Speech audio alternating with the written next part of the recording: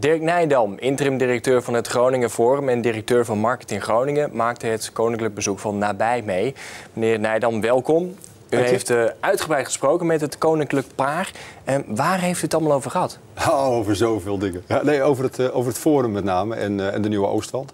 En het is best wel bijzonder, want je komt natuurlijk op een plek die die, die niet af is. Hè. Dus het was voor hen ook wel. Ik zei, nou ja, dit is het, uh, eigenlijk het lelijkste stukje Groningen waar we met z'n allen gaan werken. Ja.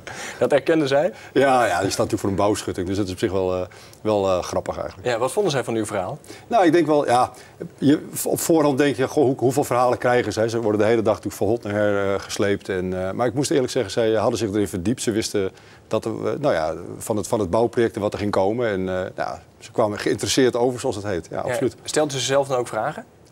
Uh, nou ja, dat, ik, nee, nee, nee, dat was niet. Nou, het was vijf minuten, geloof ik, vier, vijf minuten. En het gesprek loopt gewoon. En het, ik moet eerlijk zeggen, het is heel ontspannen. Het is een hele relaxed ja, mensen. Dat vliegt voorbij?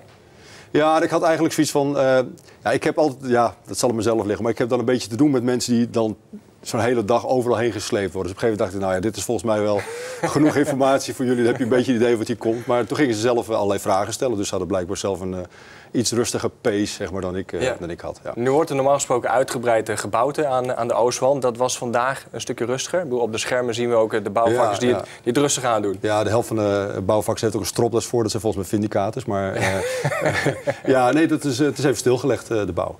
Ja. U was ook bij de ontmoetingen van 100 Groningers en Drenthe met het koninklijke paar. Ja. in Havenzaten, Mensingen en Rode. Hoe bent u daar eigenlijk voor uitgenodigd? Ja, een brief hè? Ja, dus, maar een select gezelschap mag daar naartoe, toch? Ja, maar in die brief staat niet wie nog meer uitgenodigd zijn. Dus nee. ik heb geen idee over hoe select dat is. Maar er waren er maar 50 en er wonen er veel meer. Dus ja, dat is...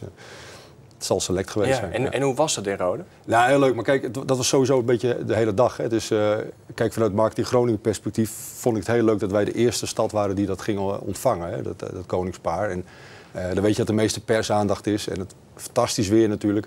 En dan kom je in Rode en dat is precies hetzelfde natuurlijk, die, die mensingen. Dat is natuurlijk een hartstikke mooi ding. En als het zonnetje schijnt en iedereen staat er buiten, dan uh, ja, dat plaatje klopt wel. Hè? Dus dat is ja. gewoon een hele mooie bijeenkomst dan. Ja, en het was al met al ook voor u, uzelf eigenlijk een, een, een, schitterende dag, toch? Ja, dat is hartstikke leuk. Kijk, het is voor de, voor de stad hartstikke goed. Ik vond de sfeer echt super vanmorgen in de, in de stad. Nou ja, zo kijk je er ook een beetje naar. Je bent toch een beetje beroepsgedeformeerd. Dus je hoopt gewoon dat, het, dat mensen die dat zien allemaal denken... nou, dat hebben ze mooi voor elkaar in Groningen. Dus, uh, en dat, uh, dat was wel zo. En als u over 10 of 20 jaar nog eens een keer terugdenkt aan deze dag... wat, wat steekt er dan bovenuit? Nou, wat ik, gewoon, ik vond het heel leuk dat ze.